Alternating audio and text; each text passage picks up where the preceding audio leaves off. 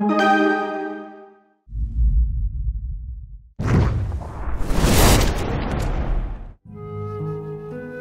the aid of heroes from Neverwinter, the Iliyanbruen elves finally defeated the armies of Malabog, the Fomorian king, who threatened the Feywild home of Sharandar. But the peace did not last. visitor. I've been dying to meet you.